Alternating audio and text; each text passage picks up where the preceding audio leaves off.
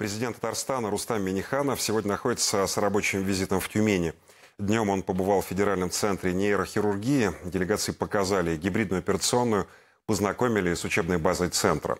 Специалисты со всей страны и зарубежья повышают здесь квалификацию. Рустам Миниханов отметил необходимость взаимодействия для повышения доступности высокотехнологичной медицинской помощи жителям Татарстана. Ну а после делегация побывала в Сибирском учебном центре компании «Шлюмберже». Гостям показали буровую вышку и тренажеры, на которых повышают квалификацию нефтяники. Следующей точкой стал завод Бейкер Хьюз, а затем Рустам Миниханов встретился с активом татарской общины региона. Участники встречи рассказали о работе по возрождению древних памятников и проектах по этнографическому туризму.